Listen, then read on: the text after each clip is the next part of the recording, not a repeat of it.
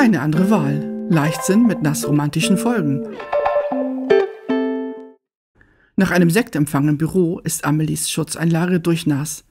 Wieder einmal ist diese schreckliche Inkontinenz schuld.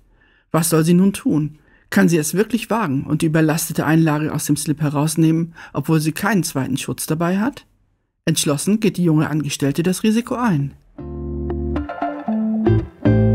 Diese und noch viele lustvolle Geschichten mehr findest du frei zum Lesen auf unserer Homepage edition-aurum.de.